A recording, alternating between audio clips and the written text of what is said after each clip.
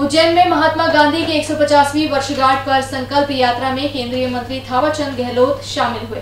क्षीर सागर मैदान पर कार्यक्रम में केंद्रीय मंत्री के साथ सांसद अनिल फिरोजिया, पूर्व मंत्री पारस जैन सहित बीजेपी के आला नेता और कार्यकर्ता भी मौजूद थे। इस मौके पर गहलोत ने कहा कि प्लास्टिक को छोड़कर कपड़े की थैली का उपयोग करें। पर्यावरण को सुरक्षित रखने के लिए सिंगल यूज़ प्लास्टिक को भी ना कहें। कार्यक्रम में पहुँचे केंद्रीय मंत्री गहलोत ने पर्यावरण को सुरक्षित रखने का संदेश दिया और मीडिया से बात करते हुए सिंगल यूज़ प्लास्टिक को न अपनाने की बात कही। साथ ही हनी ट्रैप पर कहा कि सरकार को ठोस कदम उठाकर गंभीरता से उच्च स्तरीय जाँच की जानी चाहिए। वहीं एस्ट्रोसिटी एक्ट पर भी गहलोत ने अपने विचार रखे।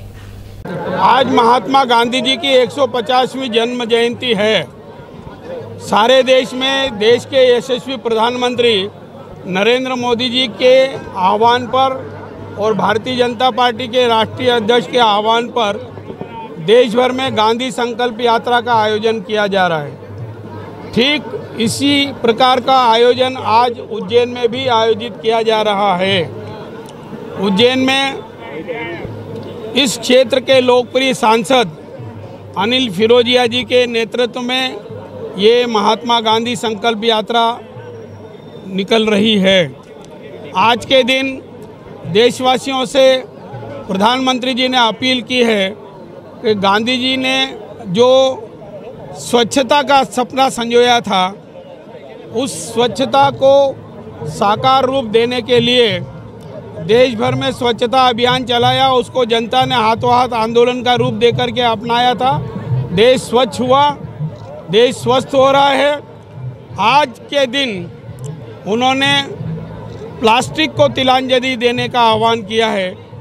मैं भी प्रधानमंत्री जी के आह्वान में अपनी सहमति व्यक्त करते हुए अपील करता हूँ कि सभी नागरिक, सभी देशवासी प्लास्टिक को तिलांजलि देकर के कपड़े की थैली का उपयोग करने की कृपा करें। क्यों ये जाँच प्रक्रिया का हिस्सा है, इस पर हमें कोई टिप्पणी करने की आवश्यकता नहीं है। कुछ परिणाम सामने दिखना चाहिए। बहुत दिन बहुत देर से ये चर्चा चल रही बहुत दिनों से चर्चा चल रही पर अभी तक कोई ठोस दिशा सामने नहीं दिखाई दे रही। भाजपा की तरफ़ से सीबीआई की भी मांग की जा रही सरकार को स्वयं को ही सोचना चाहिए। अगर वो इसकी गंभीरता को ज़्यादा महसूस करते हैं ये गंभीर विषय है तो उनको ही उच्च स्तरीय जाँच कराने पर विचार करना चाहिए। माननीय परम पूजनीय गांधी जी का एक सौ पचासवीं जयंती पे माननीय देश के प्रधानमंत्री आदरणीय नरेंद्र मोदी जी ने आग्रह करा था कि पूरे देश में गांधी के सपने का भारत, इसी गांधी संकल्प यात्रा का आयोजन किया जाए और उसी में डेढ़ सौ किलोमीटर हर सांसद को अपने क्षेत्र में चलना है।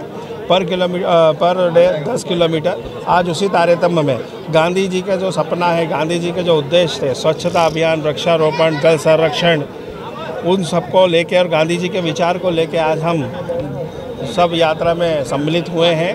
और आप देख रहे हैं कि काफ़ी उत्साह है, उमंग है। हमारे वरिष्ठ नेता आदरणीय थावरचंद जी गहलोत साहब जो सामाजिक एवं न्याय मंत्री आज वो भी इस यात्रा में पैदल चलने के लिए पद यात्रा में सम्मिलित होने आए हैं। और ये यात्रा पूरे इकतीस दिसंबर तक चलेगी। और इसमें उद्देश्य यही है कि गांधी जी का सपनों का भारत, उसको लेके जन अभियान चलाना है और जन जागरण करना है और लोगों को प्रेरित करना है कि गांधी जी चाहते थे कि स्वच्छता हो। तो मोदी जी ने सब सर्वप्रथम अगर कोई काम करा तो स्वच्छता अभियान का करा, जो आज एक जन आंदोलन आंदोलन हो गया है। ऐसे ही प्लास्टिक का जो मुक्त भारत का बात माननीय प्रधानमंत्री जी ने बोली है तो आज हम सबने संकल्प लिया है कि हम हमारे उज्जैन आलोट संसदीय क्षेत्र को प्लास्टिक मुक्त करेंगे और इसी तारतम्य में आज हमने कपड़े की थैली मान्य थावरचंद जी के नेतृत्व में व्यापारियों को बांटने का भी काम किया।